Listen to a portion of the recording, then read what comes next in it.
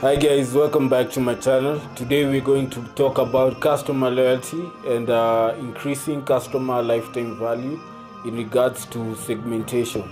So, how can uh, you, the business owner, or rather uh, the company, increase the market size or rather increase uh, the revenues that are coming to your business in terms of uh, using customer loyalty and using data to drive these informed decisions and gather insights on who you really your loyal customers are and uh, how can you also segment your different types of customers.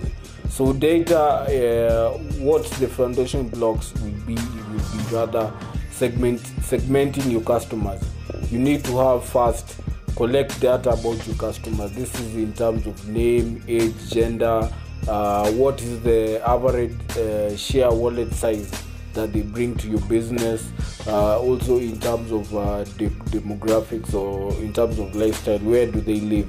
So if you have a store or rather if you have a your business locations and uh, hypothetically say i'm a franchisee and i'm in different locations uh, what first I really want to put in my CRM is uh, the database of customers in each and every uh, location.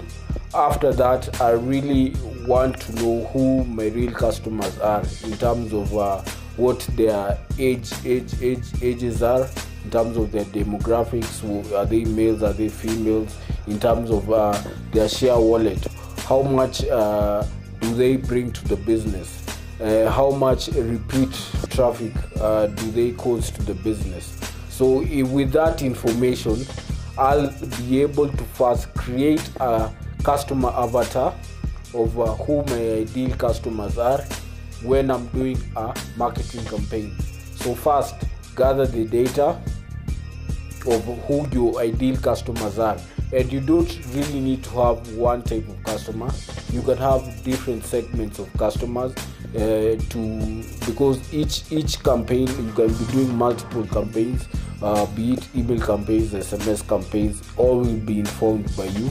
And uh, all will be different uh, targeted towards different customer segments. So the second part of the the equation will be uh, differentiating your customer segments. And this will also inform your marketing campaign.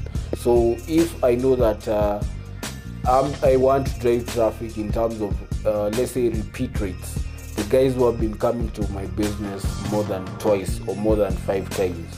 So i know that these these are the guys that have been coming to my store repeatedly over a certain period because they might be have been coming to my store let's say for five times but they came uh, let's say last year and we have a different customer who has been coming to my store but this year but more than with more than five times. So you see those are two different customers.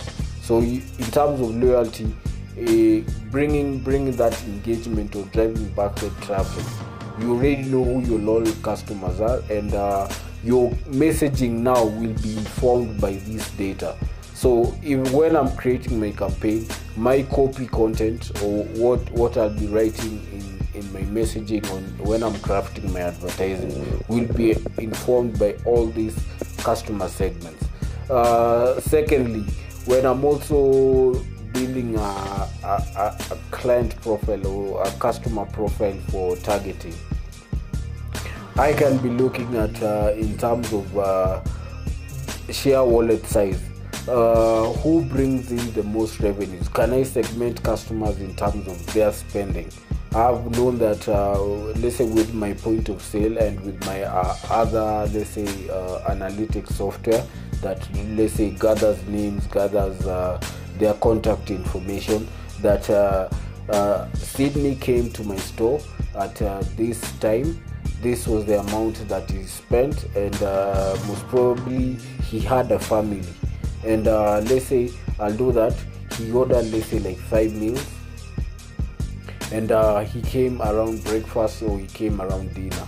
Because uh, let's say uh, I know that uh, dinner or are, are really the, the large orders come from my dinner menu or large orders come from my breakfast menu. And uh, Sydney is really uh, a good customer when it comes to dinner.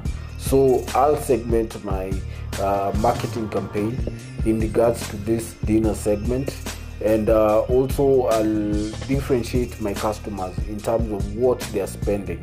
So if I know, uh, let's say if it is Charlie or Anne who really just likes to come to my to my location for let's say just a, a cup of tea and a guy with some samosas. Uh, I know she's not a high spender, but uh, let's say in terms of uh, uh frequency, she's also uh, a much more frequent guest. So all those are two different client segments that I'll be uh, tailor making my advertising and marketing campaigns to. So who, in terms of uh, bringing or creating loyalty programs or creating offers, I should be able to do much more precise uh, marketing campaigns, uh, targeting what the consumer really needs to hear or really needs to see in order for him to come back to the business. So if it is Sydney, I'll uh, t- uh, direct to him offers uh, regarding, let's say, uh, family visit. Let's say if he comes to his next uh, uh, visit to my restaurant, I'll offer him, let's say, a discount, let's say, on one, one, one family member or uh, or whichever whatever whatever uh, marketing that you or whatever offer I want to drive towards uh, let's say that family segment.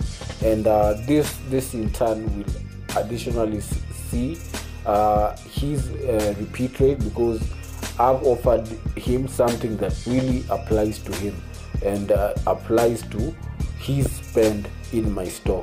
So knowing what the customer spend is, is really important. And uh, knowing who this customer is according to the, sm- to the spend and crafting my uh, advertising and my messaging towards this customer is really key. And this is also can you can also do this let's say in the online space because one of the biggest challenges in terms of companies or businesses is, is in terms of uh, justifying the marketing dollars in terms of digital campaigns. Because when you're doing digital and continuously uh, budgets are, are, continuously going increasing when because the guys are spending more time online. So how do i justify my budgets according if i don't measure or if i don't see who who in terms of me advertise digitally and me seeing that foot traffic do I do where where is the where is the disconnect? So in terms of if I collected a customer profile and I've known this this is his uh, social media data and I know this is where he really likes to spend his uh, online activities are. So I'll be pushing uh, campaigns in the right platform because uh, if it is, I know that uh,